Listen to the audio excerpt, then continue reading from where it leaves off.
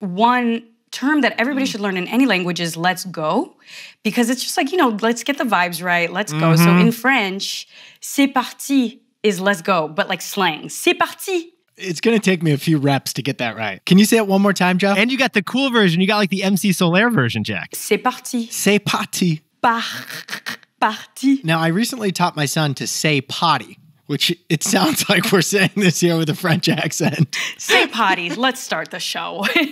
Hey, you've reached Nick and Jack at the T-Boy hotline. We couldn't get to the phone right now, but you know what to do. Leave a message after the beep. Leave a message, ask us any question, and we will answer your question live on the T-Boy Hotline podcast. We'll get back to you. You know what to do.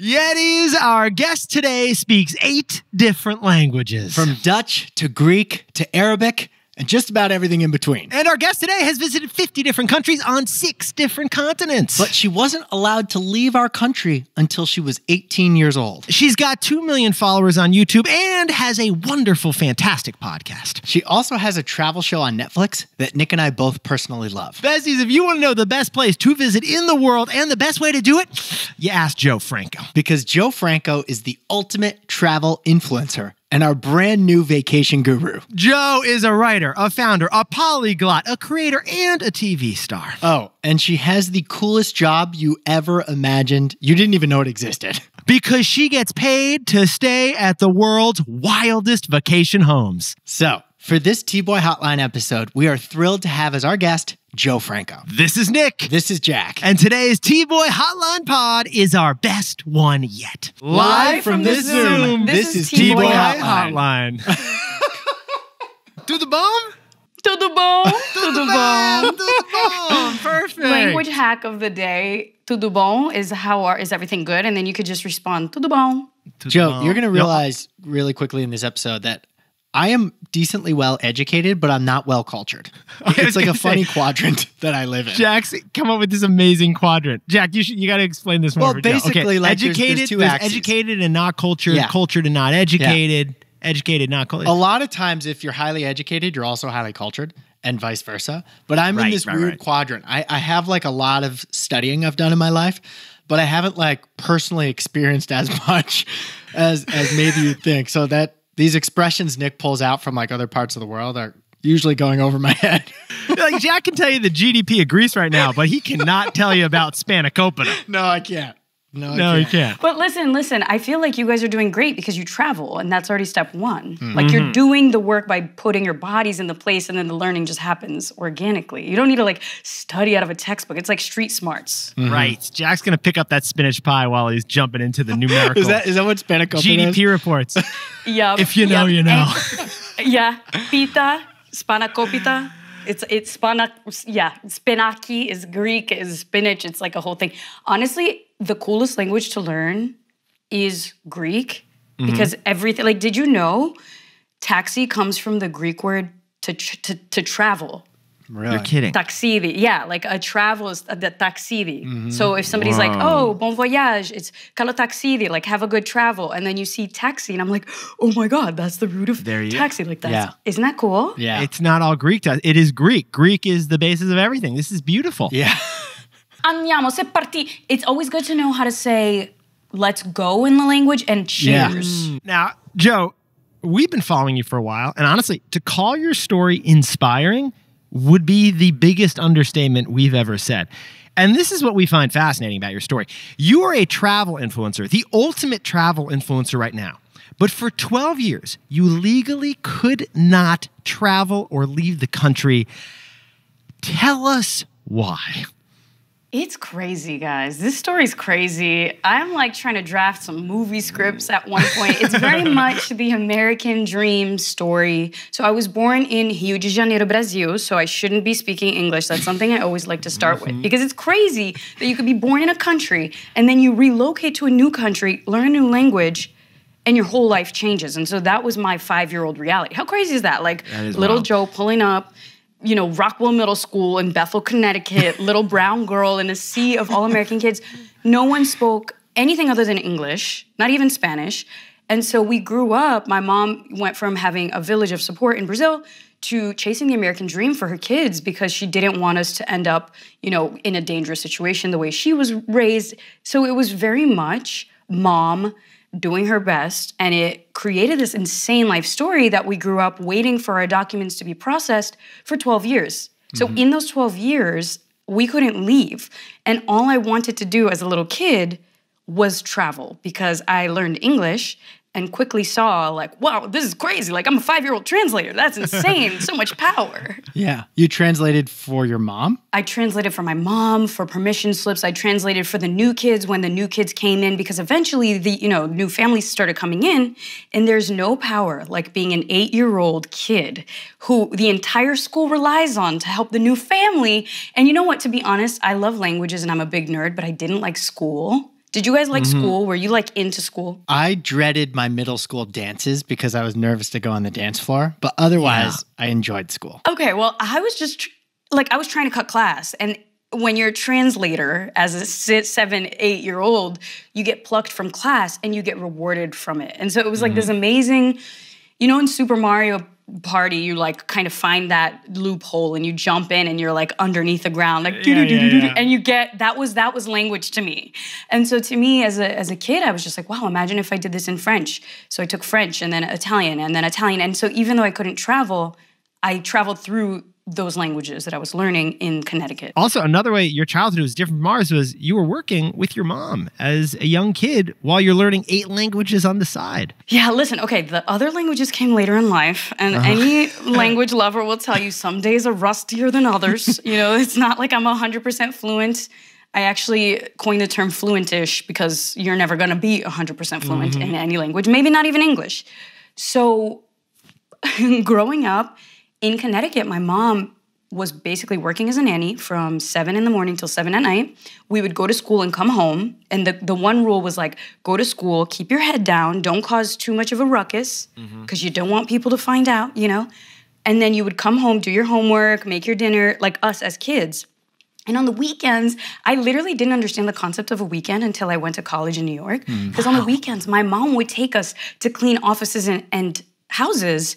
And I loved it because I would make money. She would pay us. So I was like, dang, you know, if I save 30 bucks from this office cleaning, next week I'll have $60 and then I'll have $90. And so I learned from like eight years old onward how to save money. I think that was the beginning of my hmm. financial acumen was like scrubbing those toilets. So, five days a week you went to school, and then two days a week you were working with your mom, and then back to the five days a week of school. Yeah, well, actually, I think we had one day off on the weekend.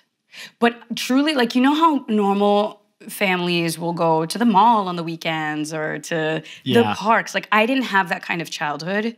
Now, as fellow creators, Jack and I are wondering, Jo, how do you go from an undocumented childhood to a YouTube star? Yeah, it's crazy. Uh, it's crazy. So I, I feel like what. So I'm a big time Yeti, by the way. Like I've listened to the show since 2018. So Fantastic. getting this email was a big deal for me. I'm like, oh my god, Nick and Jack. I swear we're friends. And now we actually are in contact, Yes, and I'm are. here. But Well, thank you so much for listening for so many years. you guys are just so so good at what you do and i'm sure that fellow listeners can relate to this like the quality that you put into every episode that work that grit it's because you want to build something bigger and i have that same tenacity that same desire and it's not easy to do that so from 18 when i finally did get my you know papers to start traveling it was big. I was like, I need to think big. I want to go to school in Manhattan. I picked my school because there were flags in the lobby. So even my college selection process was like, is this place international? so I went to uh, a school in Lower Manhattan. I studied international business, and I thought that I would be like this international boss lady CEO working my way up through the media companies. In 2012, I started this YouTube channel with a college buddy to pitch TV executives on a young travel show. And that's how the YouTube journey started. It was never my dream to be a YouTuber because I didn't grow up with this idea that I could even share things. Because remember, it was a kind of childhood in hiding. So mm-hmm. it was crazy. It's crazy. So, Jo, your journey from undocumented to influencer is inspiring. And we are honored that our show had some role in your story to become where you are. So, thank you for sharing that. And, and truly, Nick and I are honored. That was awesome. The first time I encountered you um, wasn't through our show because we can't see our listeners. I saw you on Netflix. It wasn't through YouTube. I saw you on Netflix, and I didn't know who you were. But my wife and I were watching your show, the world's most the world's most amazing vacation rentals on Netflix. You visited this like lighthouse in Alaska that's bookable, and eventually you visited this mill house in Vermont on the river. And of course, I watched that episode because you know I love Vermont, and it's an incredible show on Netflix. That was a crazy journey. What did your mom think about her daughter, whom she tried to create a little Brazil for in your apartment or your house in Connecticut, being on a Netflix show that let you travel across the world? You know, guys, I want to take it back to the audition for that show because I, I started this YouTube journey in 2012 and I grew that YouTube channel to over 1.2 million subscribers. And it was such a wild journey because it was like I literally went from sleeping on benches in Barcelona. There's a video on YouTube that you could find sleeping on a bench in Barcelona. where I'm like hugging my business partner's legs, and then my my backpack filled with cameras is on the other side, and then like shady characters are waking me up in the middle of the night, asking me if I want ex- you know weird things. Oh, this is wild. I went from that to growing this YouTube channel and getting really a great lifestyle and flying first class sometimes to film these web series. So I went through the entire spectrum of like you're broke and you just want to travel and you're working in exchange for hostel stays with 23 people in the room with you to as the creme de la creme of travel. But at the same time, as I went through this journey with this old channel and this old brand, I was outgrowing that kind of travel. I was outgrowing the mission. And so I mm-hmm. was a little bit conflicted because I loved travel, but I was also getting interested in other things. I wanted to grow into the next stage of my career. At the same time, I got this audition for a Netflix show. And this is where it gets crazy because I'm sure, have you guys had auditions in the past where you walk into a room and it's like a little scary? We- We had a live TV audition once, Jack, remember? Yeah, Where they yeah. were like, would you guys do live TV? And we're like, yeah, we would do live TV. They're like, great, you're on air in two minutes. And we're like, okay, we'll do it. Okay, I remember, Nick. It was on the New York Stock Exchange floor, actually. Oh, that was insane. So that's our closest, Jo. But you also have each other, so you have the chemistry, right? So imagine that's now key. you didn't have a Nick to your Jack, and you didn't have a Jack to your Nick, and Don't this is what happens. It's a sad thought, but this show process, when you get called to audition for a show, especially a show the the way that we filmed, they're looking for chemistry. So they Mm-hmm. audition. You audition several times by yourself on a Zoom call with the casting directors. And then the very last casting stage is a chemistry test where you're filming basically like what you said, like, okay, and you're on now, but you're with a stranger Awkward. you've never met in your life. Weird. And there's a camera crew following you around Tom Jones' house. You don't know what the heck you're doing. And they give you three facts. And what they say is you need to speak to your co host and have as much chemistry until we yell cut. Wow. And this is how you get cast. So you ha- I have a hoarding room of like 20 of the most beautiful, attractive, charismatic people you've ever met. And then they pull two of you at a time to do this process. So this was the casting process. And this is also after they had vetted thousands of people around the world to potentially get called into this wild casting. So that was the process all day long. And when I got to that house and I was like doing this chemistry test, I swear to you guys, I was like, I don't, I don't know if I'll get this, but this is for the ancestors. Like this is for the uh-huh. ancestors. I just uh-huh. felt this like crazy relief of this is bigger than just me. When you look at travel media, there historically has been only, for the most part, white male mm-hmm. hosts. And I'm a woman of color. There's only been one other woman of color on a travel show as a travel channel show. So I was literally the second. So I'm the only Afro Latina.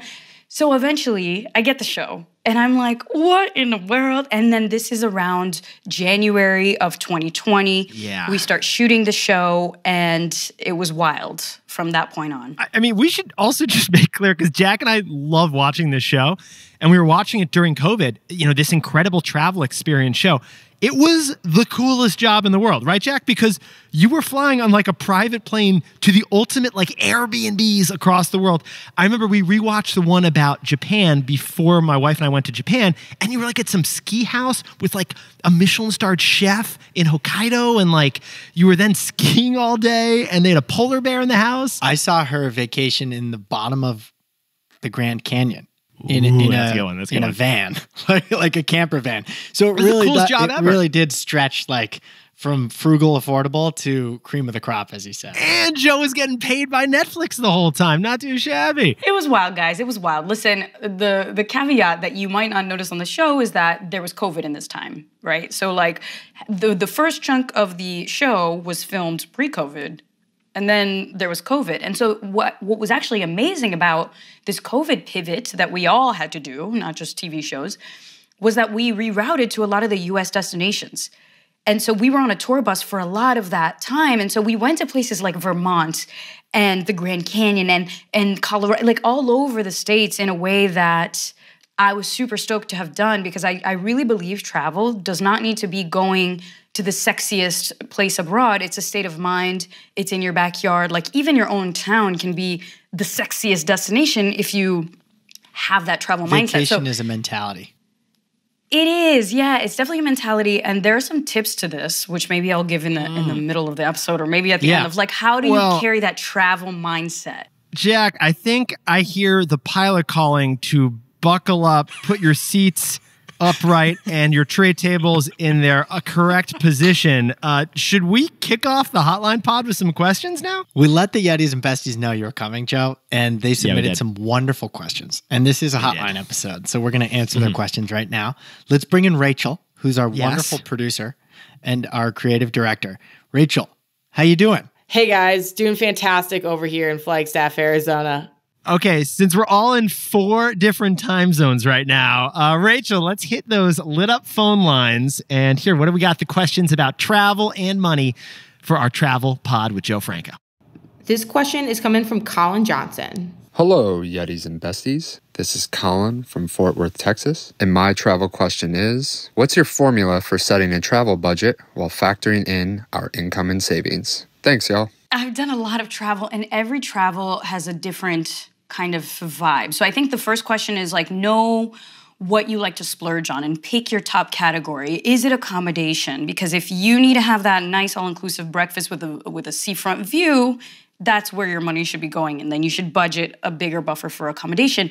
Or are you willing to stay at like the cheapy hotel because you're gonna be walking around the city all day? That's a different kind of travel budget because then you're going to be allocating more of your budget to the activities or the restaurants or if you're a foodie, right? So there are different variables. I think the number one thing with everything in life is know thyself. Like be mm. self-aware of what you're looking for on the trip.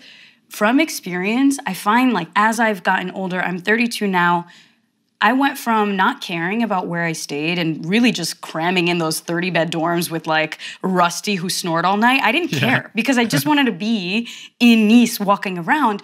And now I'm at an age where I'm like, if it has, you know, a thread count under a certain number is not for me anymore. so I'm exactly. So I've become more of an accommodations snob. And I think the show obviously did that for me too, because I realized so much of my experience is from the accommodation. Like if the if the property is good, if it's in a great location, if the host is awesome, or if the hotel gives you suggestions, it just changes the trip. What do you guys think? Well, um, Molly and I have decided that as travelers, similar, we are we are fotel focused, and by fotel I mean we build our entire budget around food and hotel, and that's not for everybody. I totally understand that, but you know, as a fotel focus, we spend about when I look back on the numbers, Jack, because I went back through our credit card statements from our last trip um, when we went to Japan, and honestly, was fifty percent hotel, which is high, and like forty percent food, and then I guess the remaining 10% was what was left. And, and honestly, there are ways you can kind of work around this. Like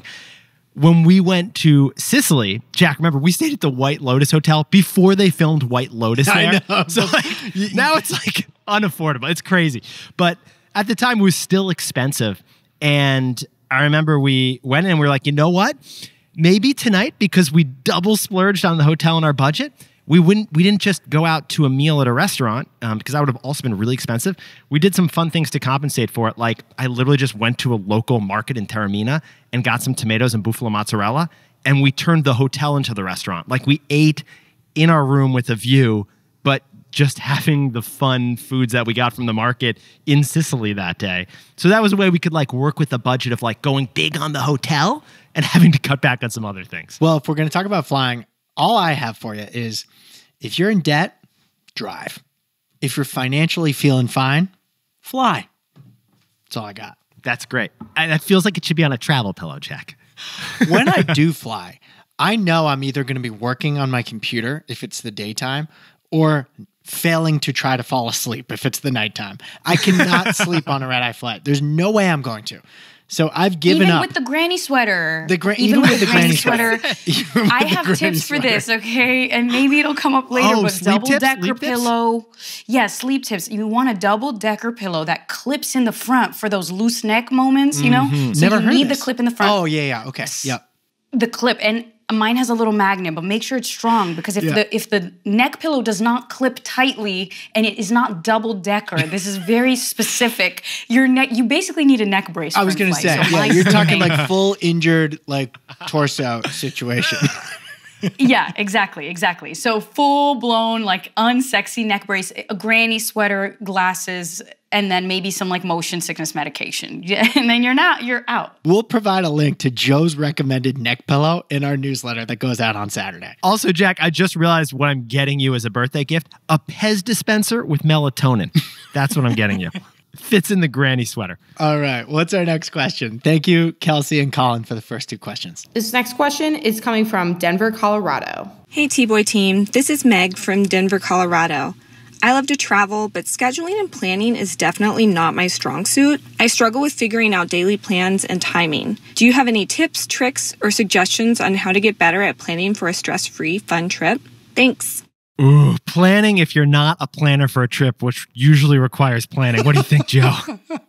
I mean, you always want to have a good friend who loves to plan. I think that's the first hack. Like, if you don't like to drive, my friend says, I don't bring my license, I just bring my friend who loves to drive.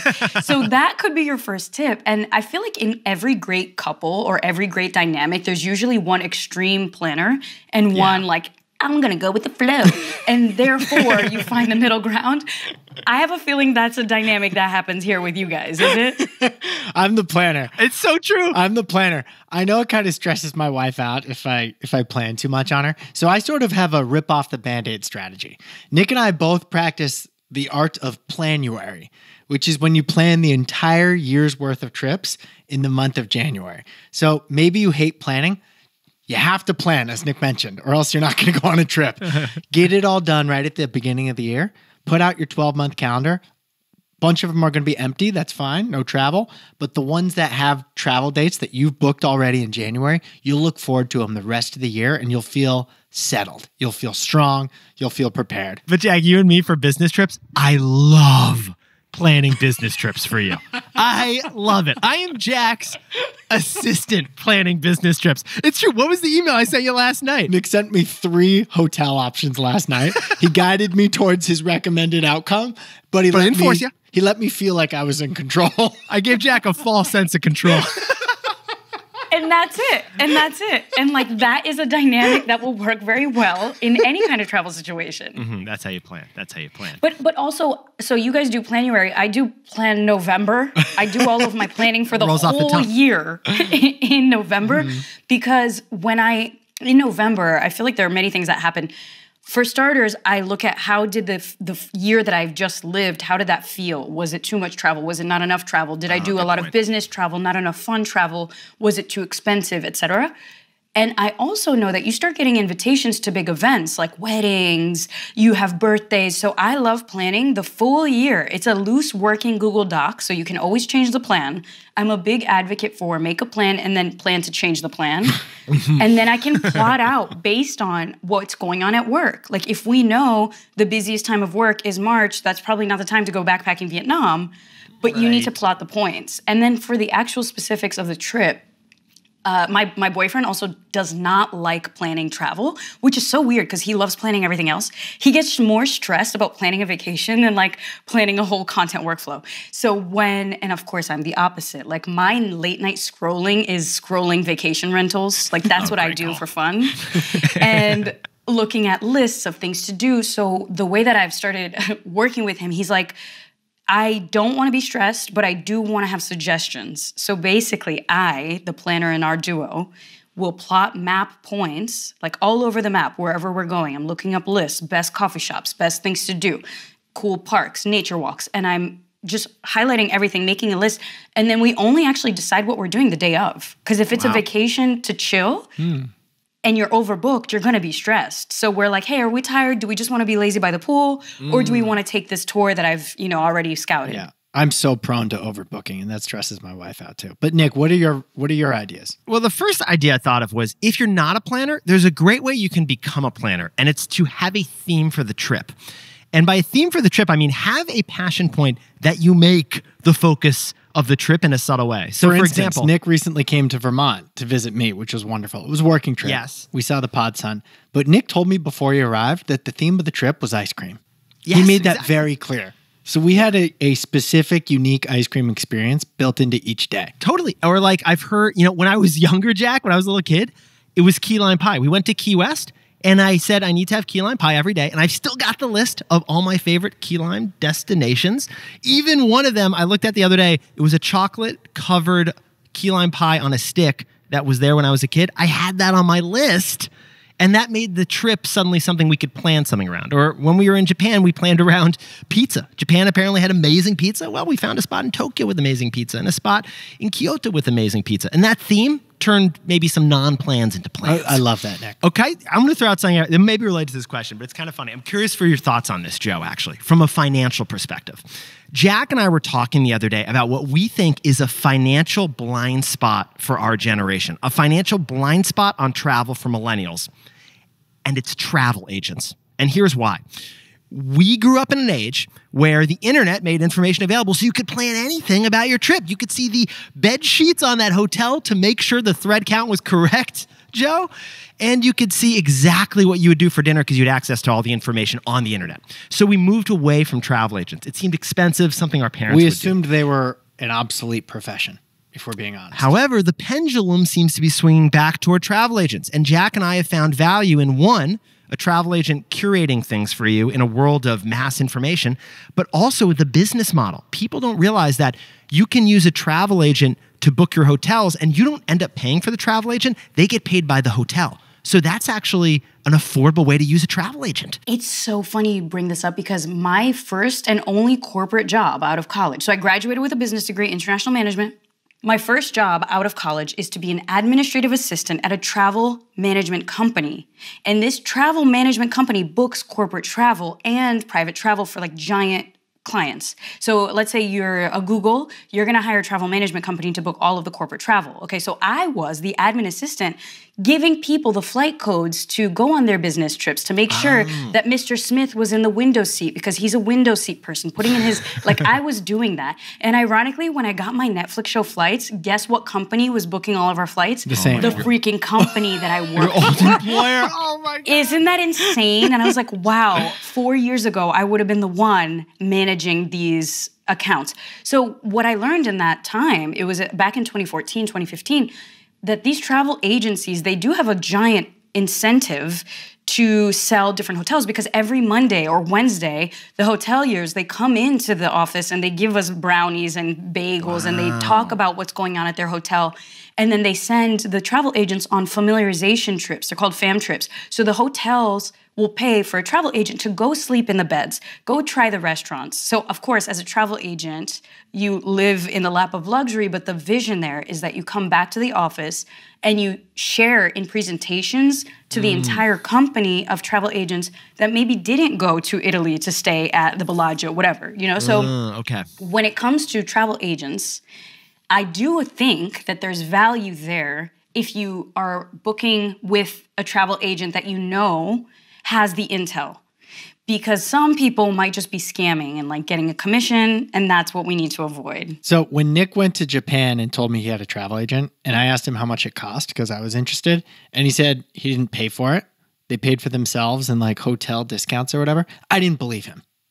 But in the meantime, I believe you now because I'm using one for this France trip. And Yeah. um, I will say it was really hard to find one though. Yes, it is hard. And, and we've worked with bad ones. It really helps to get a referral from somebody. So ask around, find a friend who has a travel agent they trust, and try to get that referral. Because if you're just Googling, maybe you'll stumble into the scammy stuff that Jo was referring to. The other kind of travel that I think no one's talking as much about, and it's a business model that I started doing in 2022, is retreats. And I went as an attendee, I went to a, a retreat in New Zealand. Like I flew for three days, seven different flights, got to New Zealand for this yoga retreat.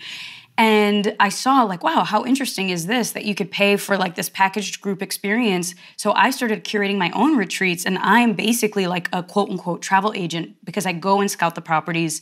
I sleep in the beds, I check the water pressure, I make sure there's hot water. Like, I do all of that, I plan the events. It's something that I love doing because I know if mm-hmm. somebody's traveling for the first time using their two weeks of vacation, it, it would be a shame to sleep in a crappy bed with no hot water. Good point. It's an alternative. So I know there's probably a lot of non planners out there, and we've talked a lot about planning. So let's move on to the execution phase. Jo, I know from your YouTube channel that you have a lot of travel hacks and how to save money by booking in certain ways. Can you share some of your best travel hacks? Are we talking financial trick shots here? Yes. Thank you for correcting me. That was a test you passed. We're talking financial trick shots.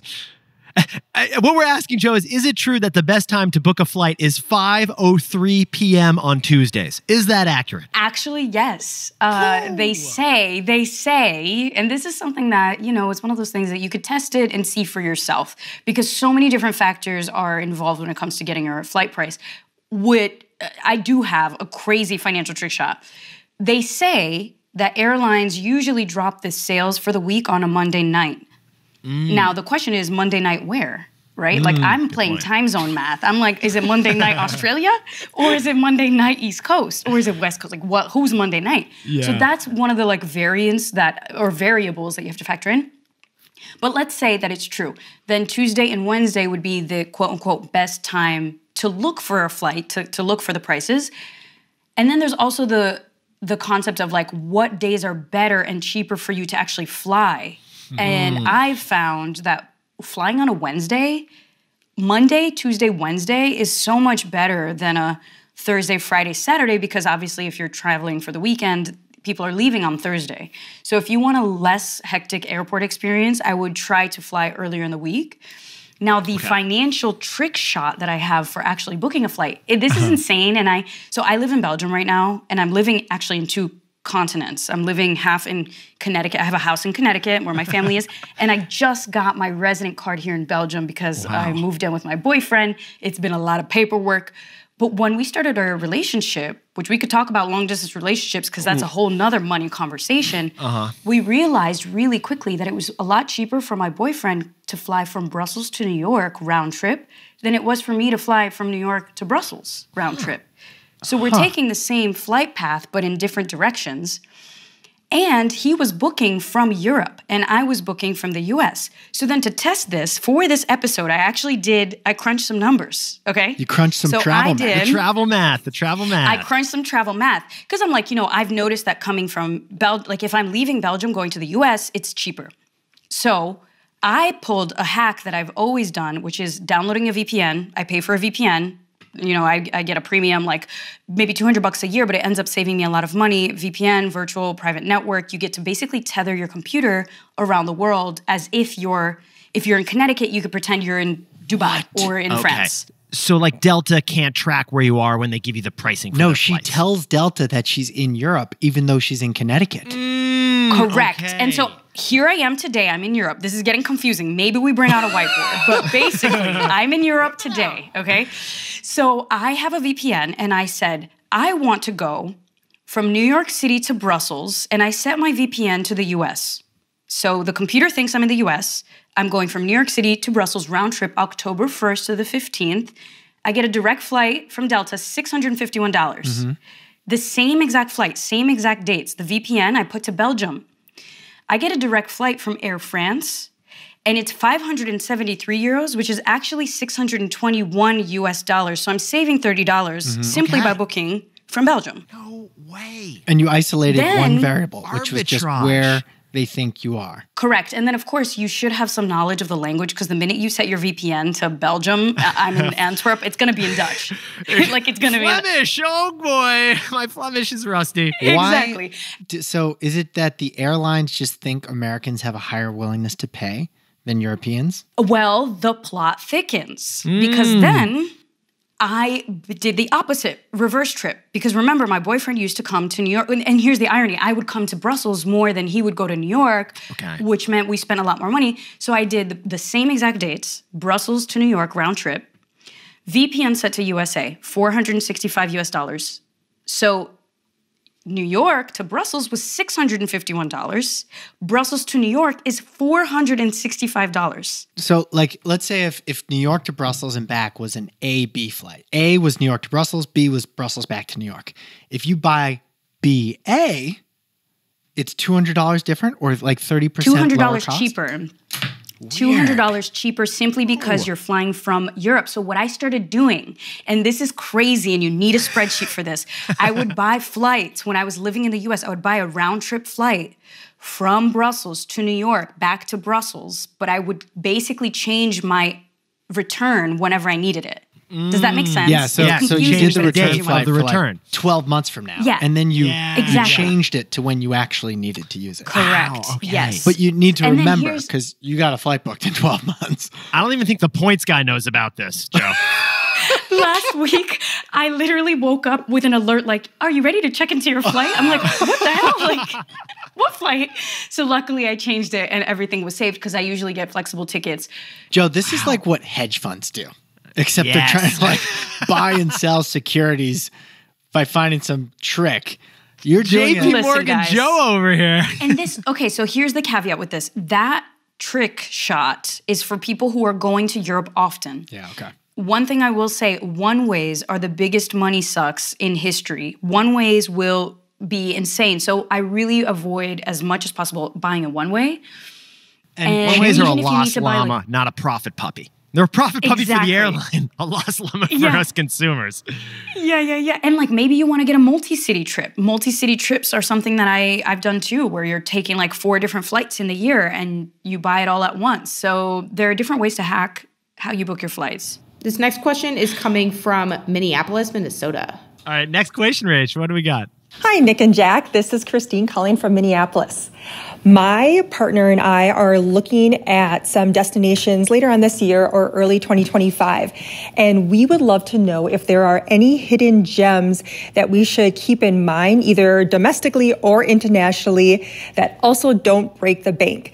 Thank you so much. Love T Boy. Destination dupes. Christine is looking for destination dupes, which is basically uh, a travel destination that's just like a really expensive, famous one that everyone knows about that costs a lot of money to go to, but gives you basically a similar experience for a lower price. Ooh, it feels like you have got a list, Jo. It feels like you may have a list over there. I'm like, hold me back and let me loose. Like I have so many. This needs to be a two day special. Okay, Go so full here's, here's what I travel have to agent on this for Christine, Jo. I have various different ways of picking travel destinations and like I said with the other tip of self-awareness, what do you love? Because some people love to dance, some people love pizza, some people love coffee shops, and all of these things will create a different experience. So, what do you what lights you up in your day-to-day life? What makes you feel like you're making memories? When I think of travel, I do not think of checklist traveling. So there are checklist travelers that do things to just check off a list. And this is why when you guys ask, like, how many countries have you visited? I'm like, definitely more than 50, but I don't keep count because I keep going back to the same places because I love finding new ways of seeing the same place. So that's the the backstory to what I'm about to say. The other thing is like a phenomena kind of a travel. So on the Netflix show, I was so fortunate that I got to see these incredible sights that only happen around that time of year. And these could be natural experiences like the aspen trees being bright yellow in Colorado for like those 3 to 4 days when I was there or bioluminescence happening in the Caribbean, or it's something like Galungan Day Festival happening in Bali, where the entire community comes together and you just see this epic experience, you know, like the the Light Lantern Festival in Thailand. So there are phenomena that happen at specific times of year. And those must be expensive to go to because everyone wants to go there at that time. So yes and no. A lot of times I've actually just pulled up by accident because I went during like I went to Thailand during monsoon season, which like I don't know if I would advise. It was actually lovely. but I was on a budget at the time, so there's also that. If you go during like the not ideal weather yeah. season, you'll get a cheaper trip. Mm-hmm.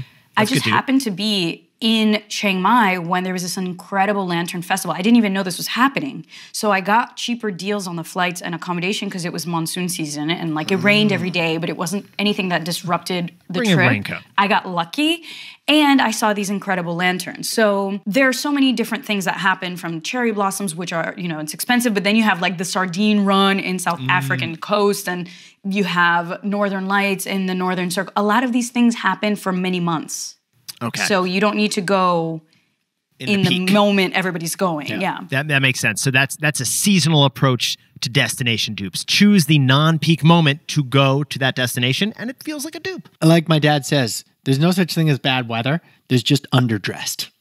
So if you want to visit Times Square, you could go in early February and the prices will be low because it's freezing. Now we know where you get these granny sweaters from, Jack. It's from uh, Big Ted, your papa. You know, I was wondering, Jack, because you and I put together a list of destination dupes earlier Yeah. in the year to Yeah, kick off the summer. So, so Jo, I, I was thinking about this, and I, I actually had three in particular. So, love how you brought a strategy to this. That is way smarter than what I'm about to say. But three destination dupes I thought of over the last few weeks that could be relevant to our audience are one. Tuscany is extremely expensive. We talked about the rise of prices in Europe right now. An alternative within Italy that I think is a destination dupe is Puglia, where my family is from. Bellissima. Vicino a Bari. Uh, it is just a lovely area that's a little rough around the edges than Tuscany, but it's still much cheaper. Find the climate. So a lot of people go for climate and there are microclimates. Like if you love wine Mm. Hit us, country, us. We just search the microclimate that wine countries are in, which is this Mediterranean microclimate. And that is not just in, you know, where you think it is. It's not just Right. in Napa. It's it's uh, in different parts of the world. Well, I was going to say another destination dupe for the Mediterranean, Jo, is Oman, the country in the Middle East, which you can fly to Dubai. Every airline flies to Dubai pretty much. And then you just take a taxi two hours north. You're in a new country. You're in a different country called Oman, which is got pristine waters on the Arabian Sea that look like the Mediterranean, but it is a fraction of the price, barely visited, feels like the Mediterranean based on the climate, but you're actually in the Middle East and it's way cheaper. Okay. So that's one. And then a final one for Europe, just because so many Yetis we've heard are going to Europe right now. Jack's apparently, you're going to where again, Jack? Jack may be going to France, but the other European destination dupe is LATAM. Buenos Aires is a wonderful alternative to Spain where you're staying up late, just like in Spain. And on the flip side, though, you're getting $4 filet mignons in Buenos Aires in Argentina. So Buenos Aires is a wonderful way to do a destination dupe of Spain. I'll keep mine really short and sweet. Mexico City was an incredible city that was really inexpensive. For context, I went to the airport from like downtown Mexico City via an Uber and I paid $7 including tip. It was wildly low priced. And then you know what I'm going to say, Nick. Vermont is a dupe for Austria. Uh-huh. So the Green Mountains is a dupe for I the love European Vermont. Alps. Thank you, Jo. It's like it blew me out of the water. We just went full on in Vermont with the ice cream. I just want to point out that there were like 30 different Ben and Jerry's flavors on the theme of that trip. I love it. That's why you go. The other tip that that I found as I traveled to major cities, first time travelers will always try to go to like Barcelona or mm. Paris or or just like the main city that you think of. but I like city. to go to the secondary city. So like in mm. Greece, there's Athens, but there's also Thessaloniki and Thessaloniki is so lovely and it's not as saturated with like tourism and the gimmicks and the fidget spinners. So I have mm-hmm. like a second city kind of a vibe that I like to see the secondary place. Yeah. Wonderful call. The destination dupes list. We should throw that in the newsletter, actually, Jack. We have so many examples there. We got to toss that in the newsletter for this week. Rachel, what's our next question? This next question is from Jackie. Nick and Jack, it's Jackie from Orange County, California. I have a question about traveling. What tips do you have for solo female travelers? Jo, this one's all you. I love that question. I I think that women traveling, it's it's nerve wracking if you haven't done it before, if you are used to traveling with your friends or with your partners or whatever.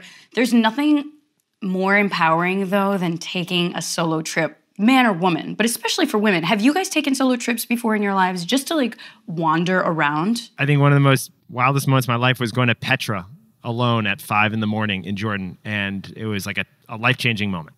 As much as I miss doing it with Molly or doing Sang Phone with Jack. During a business trip, I took a weekend excursion to Strasbourg, which is my only French experience. I stayed in a hostel for one night with a bunch of other people. Really fun, quick trip. So I do solo trips almost like a relationship hygiene for my relationship with myself. Like I, I, do this on a quarterly basis if I can, even if it's a, a one to two day kind of a trip or I take myself out to dinner. So for solo female travelers, I would say start dipping your toes in the water, take yourself out to dinner, see how it feels. I always say food tastes better when you eat alone because you're not too busy like chatting your head off and you're just like, wow, damn, I'm like, I'm alone in this restaurant and I'm owning this table for two and it's yeah. just me, like just me, table for one. so it builds up your confidence. So it's not just, I want to travel. It's it's a confidence builder, it's a relationship builder with yourself for women out there listening who have always been taking care of everything in everybody's lives around them, they're nurturing people, they're taking care of kids, whatever. There's nothing like being alone and ask yourself, what do I want to do? What do I mm. actually want to do? Where do I want to go? What do I want to see? So yeah. there's so much empowerment. There are obviously safety things, safety tips.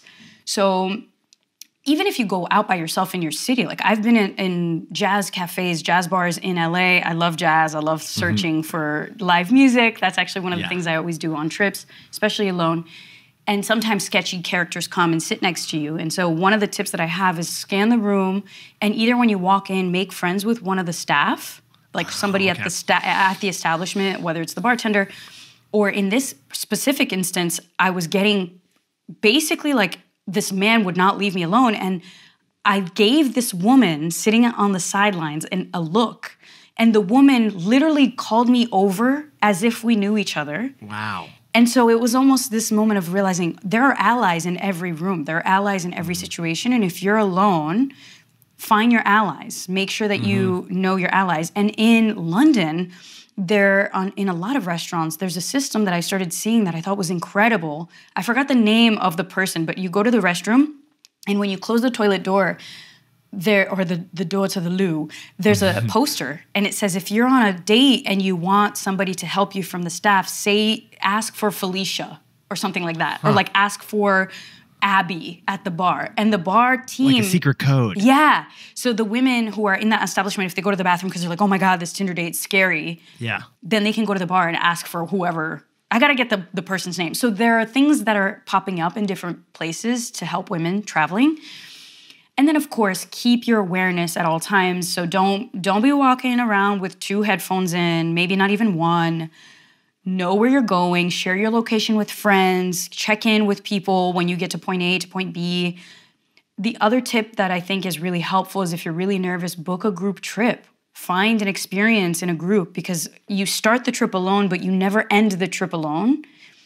And that's something that I don't think people factor in when they take a solo trip. I don't that's understand. Jo, how can you explain the group trip again? Yeah. So, for instance, like when I was traveling all the way to New Zealand alone, it was post breakup. I was actually supposed to go with my ex, and I was like, "Oh, that's not gonna fly." so I'm still going, but time to reroute this trip. And I I booked this three day yoga retreat, and I uh-huh. get to this. I, I like book an additional flight. I go down to Wellington, New Zealand, and I start this experience with strangers. I'm by myself, so I am having a spiritual journey like Nick and Petra at you know 5 a.m., but just in New Zealand in Wellington doing downward facing dog, and I meet these friends that then we road trip up the entire country. I couldn't have planned for that. So yeah. that's what I mean. It's either a book book a group trip or book group experiences, even mm. if it's mm. like a cooking class to make pasta and then you make friends there. This next question is from Jillian Go. What do you recommend? An airline card, simply chasing miles, or does a straightforward cashback card do the trick? Uh, Julian's kind of asking about loyalty here in travel a little bit, it seems like, right? I mean, I, am all for the Amex Platinum card. This is not a sponsored Yeah. ad. It's seven hundred dollars. That's a big annual fee. And when I was young, that would have been way too much. But now I can tell you that it pays for itself with just a few perks. I think I get two hundred dollars of Uber Eats credits, which I use. Um, I get two hundred dollars of streaming credits. I get two hundred dollars of airline fee reimbursements for like upgraded seats or checked bags, and you get Delta Lounge access. It, so if you travel Delta a lot, that it's it pays for itself pretty quickly. Plus five times points on travel bookings. I mean, when you do the rough back of the envelope travel math on this thing, if you're traveling more than once a quarter, then commitment to a travel credit card or a travel airline makes sense and pays for itself in the long term. But you guys, you didn't even mention in the on the Amex Platinum, which I also have not sponsored, but I do love my Amex Platinum, mm, that you get a two hundred dollar travel credit annually that gets dispersed throughout the year. So I book most of my flights on my Amex Platinum, and I'm just like cha-ching, cha-ching. So two hundred dollars is already covered if you travel with this card, Yeah. And you get priority pass. I'm pretty sure. Um, no. Priority passes with Chase Sapphire Reserve. I was going to So- say the Chase Sapphire folks are going to rip into us pretty soon. we got to throw them a bone right now. No, listen, I'm a Chase Sapphire girl too. Like I started with the the basic one, which I think is the preferred, and then I got onto the reserve. And I do this for personal and for business. So I have the Chase Sapphire Inc. And the miles that I've been racking up, and here's my hack, my financial trick shot. If I have a giant thing to furnish or like something big to purchase, that's when I look for the cards that make sense. So I think I got my Amex Platinum when I had to furnish an apartment. So I could mm. hit those bonus m- points. Right, because they have like an Because, you know, like- introductory, like a hundred thousand points Right. if you spend five thousand dollars in the first month. Yeah, exactly. And so if you have a big purchase coming up, this is the time to start browsing the credit cards and seeing what you can get in addition to what you already get. And did you guys have you guys ever noticed that they keep the benefits like super hidden? Yeah, I have. They, they almost don't want you to see it. on on that credit on Sapphire and Amex, they also don't make clear when you book a hotel with one of these expensive credit cards. This is how it pays for itself. You typically get some kind of a credit, like at the spa or at the restaurant at the hotel, of like a hundred dollars or so. So I've found that like the other hidden value that you're describing, Jo, is that when you actually end up booking with these credit cards, the hotels end up giving you a credit of some kind. So frankly, on just one or two vacations a year. That upfront cost of an expensive credit card can pay for itself in the hotel perks. And car rental insurance. And car rental insurance. Oh, I once destroyed a Fiat. Oh, it was not pretty when I didn't have a fancy credit card. Your um solo dinner date as a dipping your toes in the water for And solo then it tastes travel. better. I love that Yeah. idea. Oh That's my like my God. biggest takeaway. You guys, are you gonna try it? Yeah. Can you please I let me know and like send me a picture and just say, hey, got dinner for one? Nick already does this. I think like once a month, Nick, you dine solo and you sit at the bar, don't you? Yeah, I sit at post up at the bar and just like slurp up a carbonara. I don't do this though. And, and something about the way Jo framed it really appeals to me. And you could journal too. Like, come on, let's doing get the journaling done at the bar. Great call. Great call. It's a really immersive meal. I want to talk about points too, because miles and points are two different things, and many people get those confused. Can you explain? Let's talk points. Let's make the distinction and let's whip out the whiteboard on this one. What do you got, Jo? You got points, which are usually accrued with credit cards, you know, all of the things that you're getting on the credit cards. But then you have miles, and mm. miles are through loyalty programs. And so if you're truly on a budget and you can't afford that annual fee, you should still rack up the loyalty program miles, which are also redeemable for flights. So points usually are more valuable than miles, but then you can financially trick shot your way to actually transferring your credit card points to mileage programs and mm. redeeming it. Because miles, miles on loyalty programs in several of the biggest loyalty programs, they don't expire.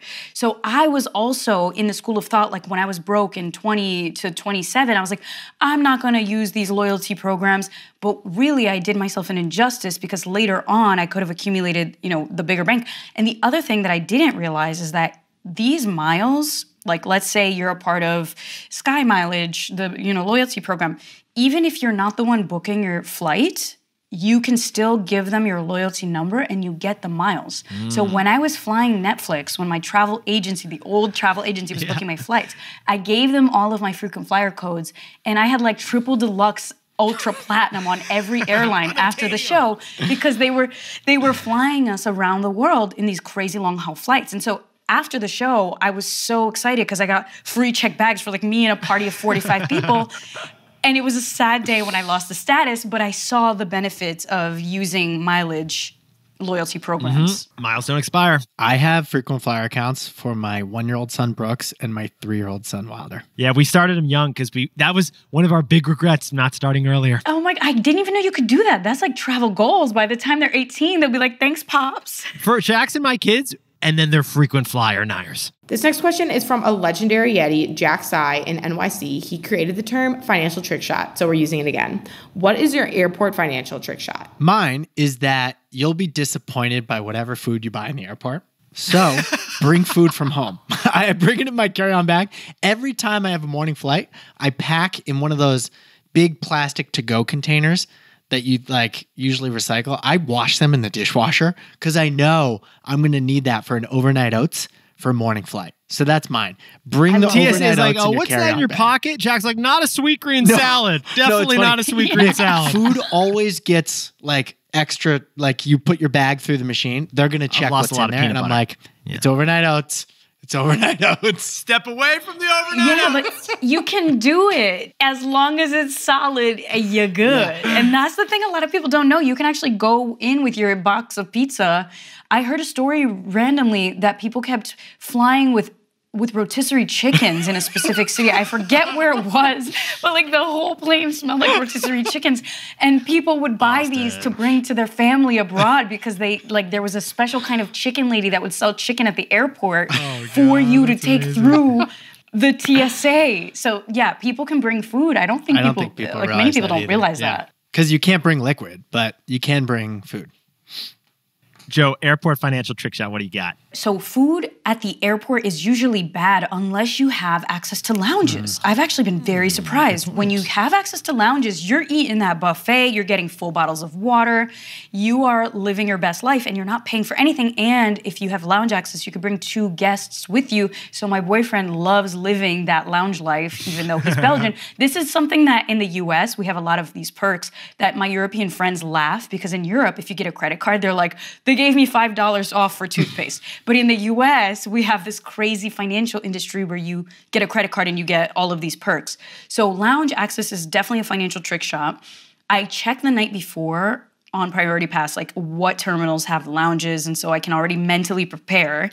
If I'm going where there is a lounge, I just show up like a madame and like glide in and get my water bottle and fly into the like I go into the airplane with lounge food. So you could also do that people are like hoarding all of the M&Ms to go on flight because at that point you've already passed security, you know? so that's one way. And then the other thing is I bring a bag in a bag, like in my carry-on ah, bag, I always have a tote bag cuz you know some of those flights have crazy restrictions, especially like the Spirit Airlines, the Ryanairs.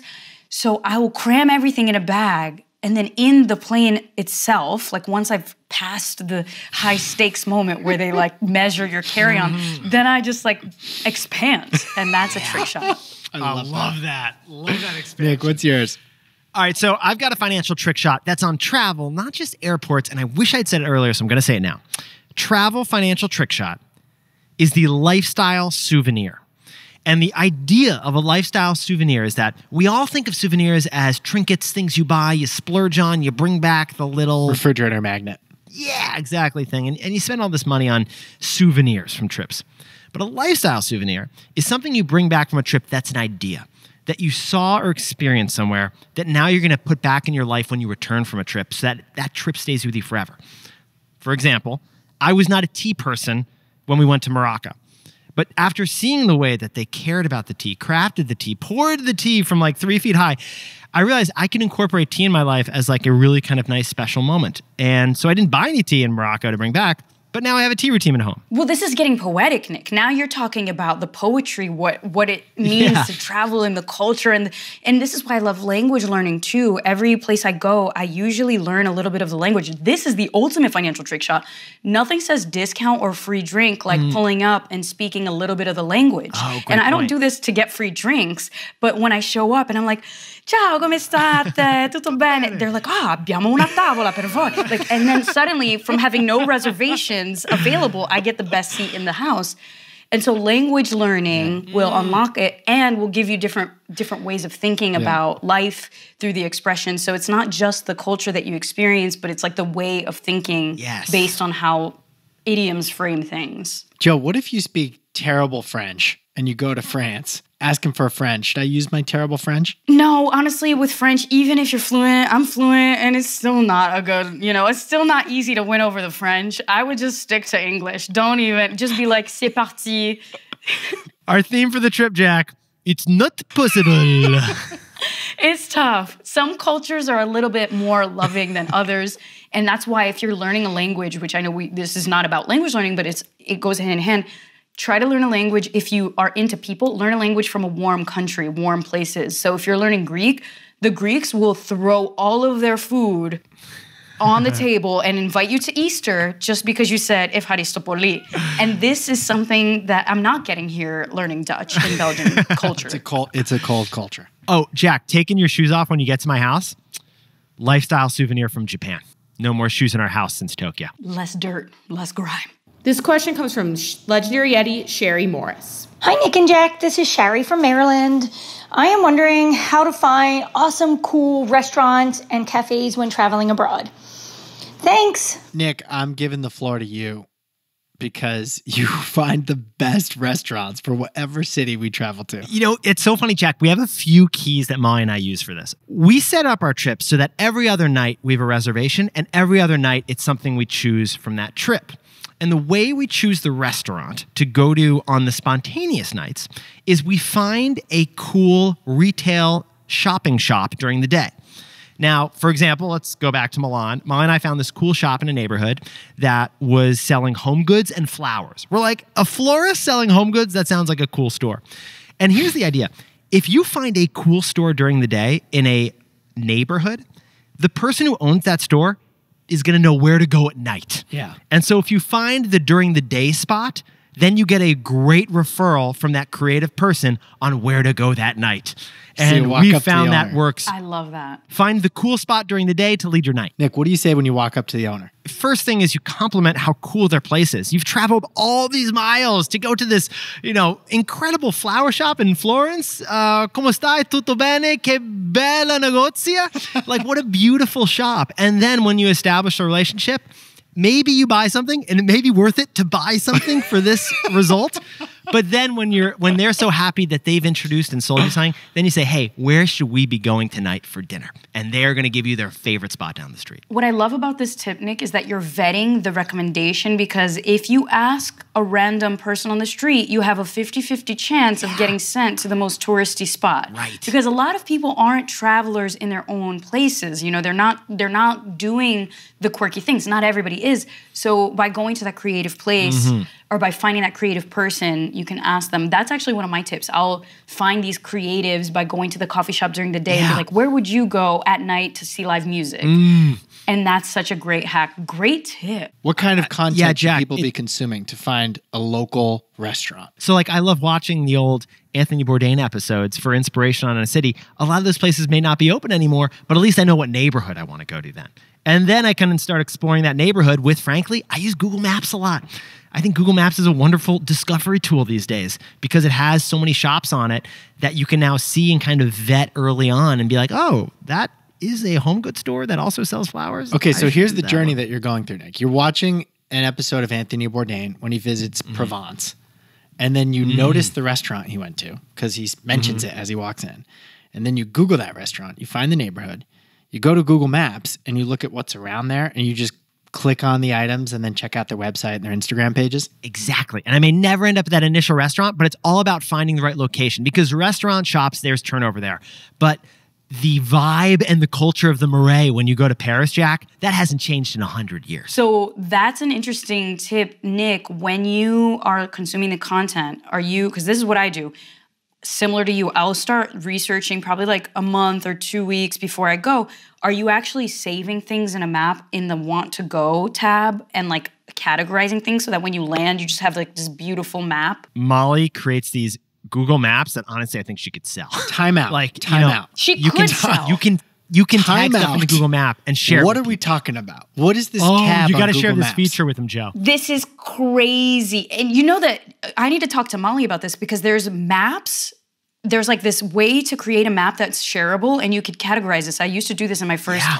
wave of entrepreneurship. I would create like the best of Paris, the best of New York, and I would say like coolest coffee shops where you could use a laptop On a map. Best places that actually have couches. And it's like a whole map that's categorized. But I do this still for my own life. And I'll say like want to go, different restaurants, different uh, bars. Like so Molly is doing this. And Jack, you need to get I need to share this with you. We need to mm-hmm. share this with Jack. Yeah, so I, I'm clicking on Google Maps right now, and I just clicked on Sisters of Anarchy Ice Cream, which is an awesome ice cream spot near Burlington.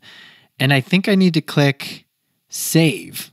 Okay, now there's a want to go Yes. option. Yeah, and now Jack, you could create a whole map. And you could save trips.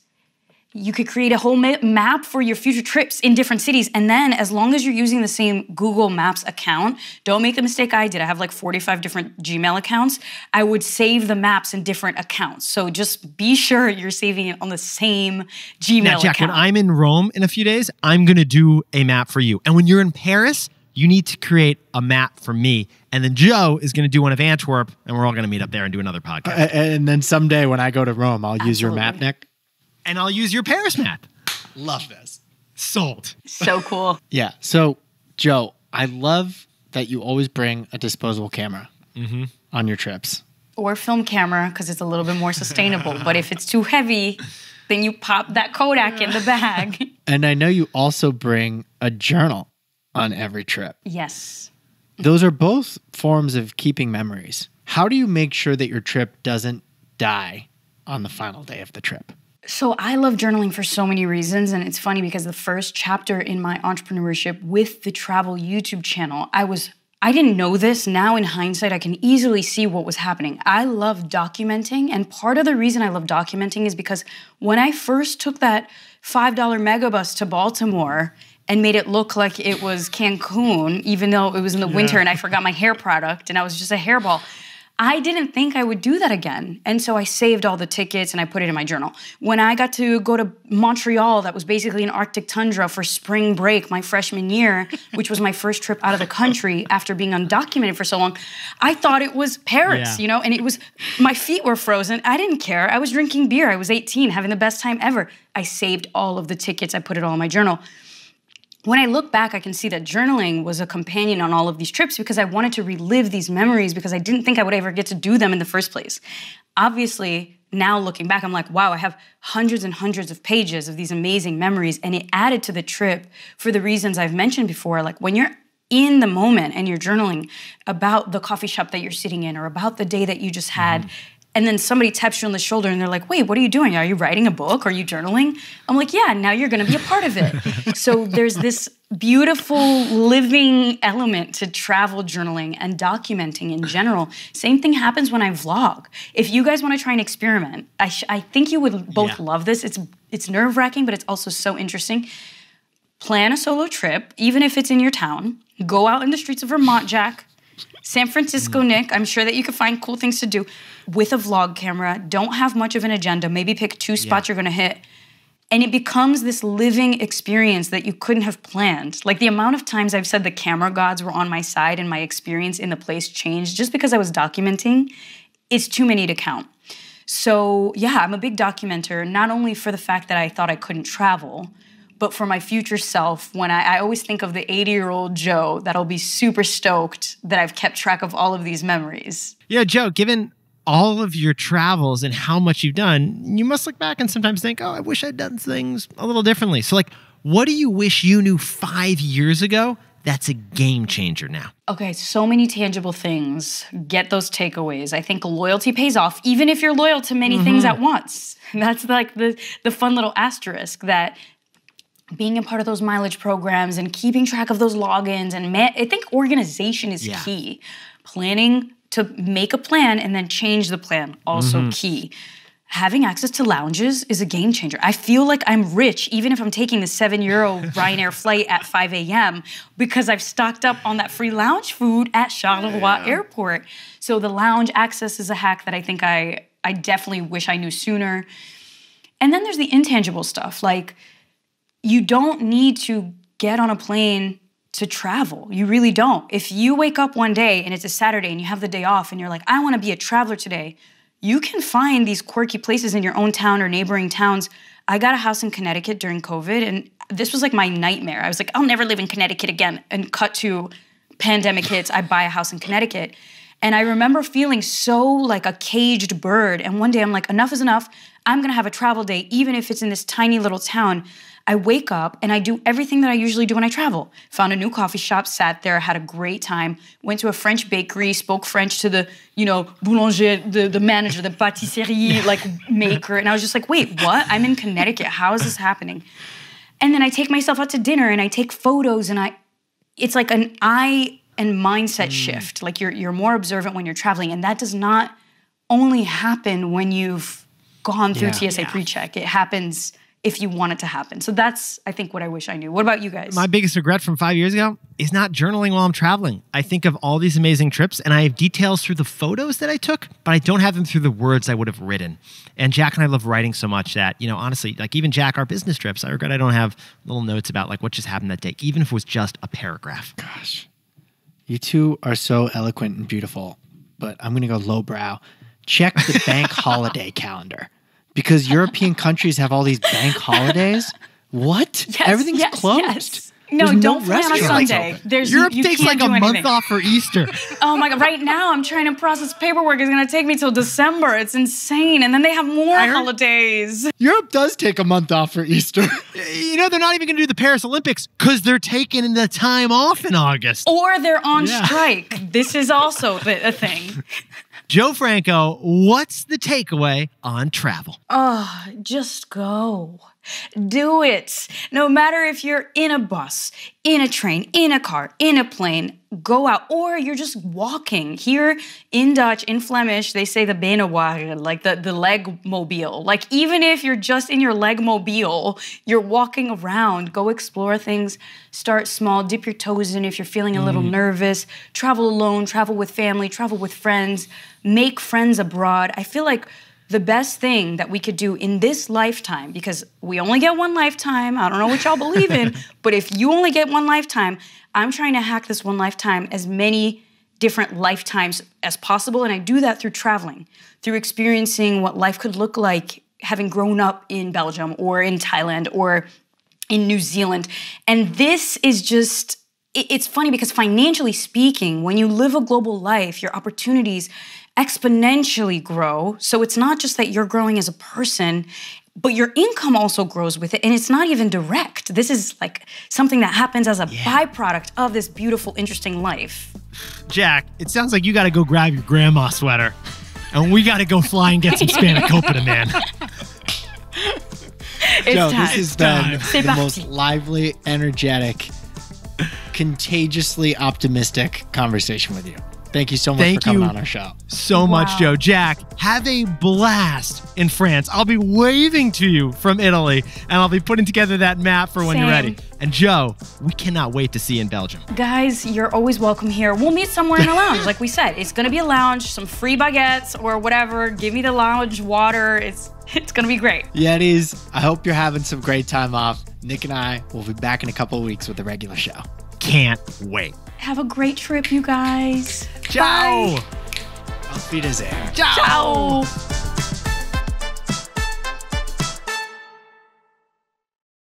Here we go. All right, we'll do it together. Ready? Two. Three, Three. two. Live from Live this Live Zoom. from the It's Zoom. T-Boy T-Boy Hotline. Hotline. T-Boy hotline. Oh God, guys, we need to do that again.